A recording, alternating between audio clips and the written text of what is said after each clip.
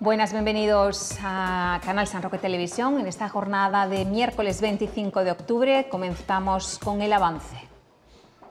El alcalde agradece a Carreteras las obras en la vía de servicio de Pueblo Nuevo. Se mantiene el programa de actuación familiar en Puente Mayorga. Finaliza la campaña de revisión y cambios de extintores en instalaciones municipales. Servicio de autobús especial para la noche de Halloween con dos salidas de madrugada desde la Alameda.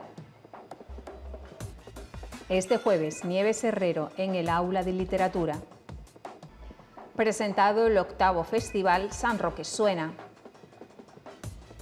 La tribu propone crear catrinas, máscaras de calaveras mexicanas para la Noche de los Muertos. Personas conocedoras de la obra de Ortega Bru realizan una visita guiada a su museo.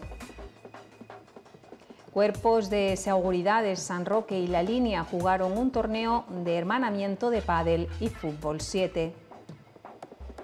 Aitana Domínguez, con dos mínimas para el Campeonato de Andalucía, aspira a todo esta temporada.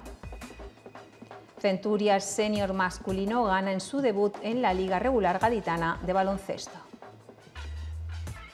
Luis Enrique Méndez en el Campeonato de Andalucía de Atletismo con la esperanza es de conseguir una medalla. Ahí queda el avance correspondiente a este miércoles, apuntes informativos que pueden ampliarlos en nuestras páginas en internet, en nuestro canal en YouTube y en nuestra app de móvil.